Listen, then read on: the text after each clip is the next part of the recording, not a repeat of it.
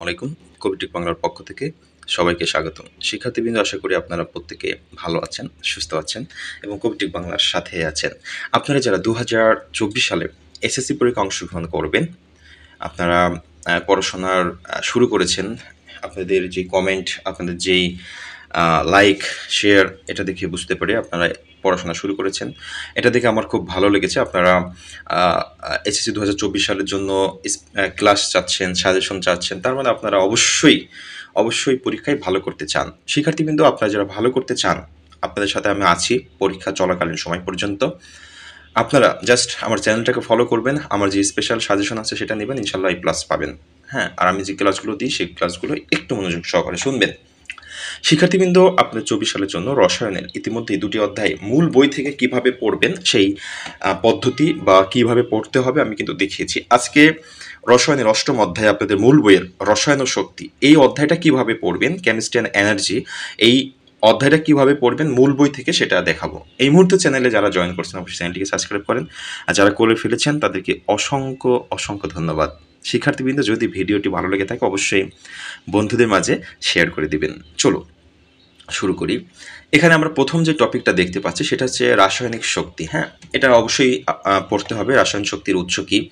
হ্যাঁ বন্ধন শক্তি আন্তঃনবিক শক্তি তারপর হচ্ছে রাসায়নিক শক্তির রূপান্তর শক্তির পরিমাপের একক তাপের পরিবর্তন ভিত্তি করে রাসায়নিক বিক্রিয়ার শ্রেণি বিভাগ। আচ্ছা এটা আসতেছি। এখান থেকে আমরা জাস্ট যেটা পড়ব আ- আ, শক্তি এটা আমরা অধ্যায় দুয়ে পড়ে এসেছি। তিনে দূরে পড়ে এসেছে নাইনে ওকে বন্ধন শক্তিটা কি? বন্ধনে আবদ্ধ একটি পরমাণু, পরমাণুর সাথে আরেকটি পরমাণু যে আকর্ষণে যুক্ত থাকে সেটাকে বলা হয় বন্ধন শক্তি। আমি পাঁচ নম্বর অধ্যায়ে আপনাদের দেখেছিলাম যে রাসায়নিক বন্ধন, সমযোজী বন্ধন সেটাই। আর আন্তর্বিক শক্তি আপনারা সবাই মোটামুটি পারেন। রাসায়নিক শক্তি রূপান্তর অবশ্যই ঘটে, জানি আমরা তাপ শক্তি, আলোক শক্তি, শব্দ শক্তি, বিদ্যুৎ শক্তি, এগুলো একটা থেকে একটা রূপান্তর ঘটে। যেমন আমাদের ঘরে যে বিদ্যুৎ শক্তি থেকে ফ্যান চলতেছে, তার মানে বিদ্যুৎ শক্তি থেকে যান্ত্রিক শক্তিতে রূপান্তরিত হচ্ছে। আবার লাইট চলতেছে সেটা হচ্ছে বিদ্যুৎ শক্তি থেকে তাপ শক্তিতে রূপান্তরিত হচ্ছে, ওকে? শক্তি পরিমাপের একক হচ্ছে জুল। আমরা জানি জুল আর ক্যালোরির ভিতরে এই সম্পর্কটা একটু মনে রাখবেন যে এক ক্যালোরি সমান ফোর পয়েন্ট টু জুল। তাপের পরিবর্তনের ভিত্তিতে বিক্রিয়া।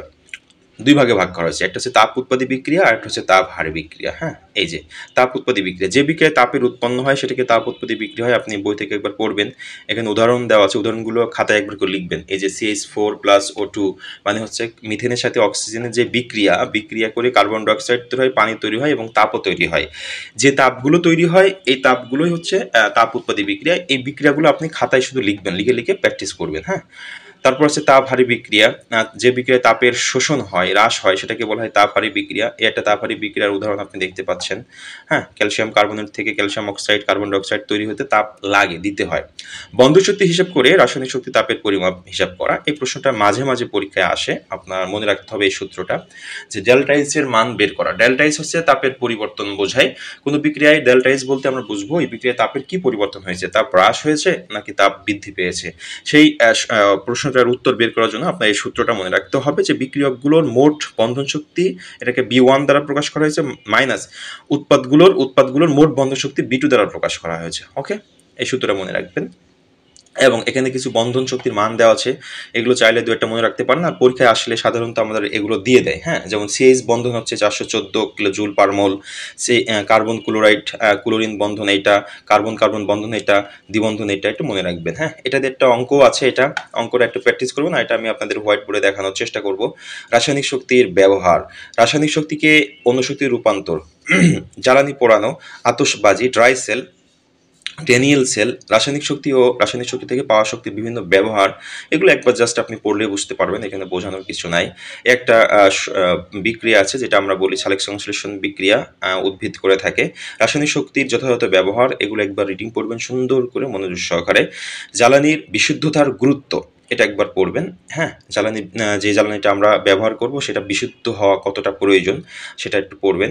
রাসায়নিক শক্তি ব্যবহারের নেতিবাচক প্রভাব মানে খারাপ প্রভাব যেটা আছে সবচেয়ে বেশি খারাপ প্রভাব হচ্ছে আমরা জানি গ্লোবাল ওয়ার্মিং অথবা গ্রিন হাউস যে প্রভাব সেটা হয়ে থাকে।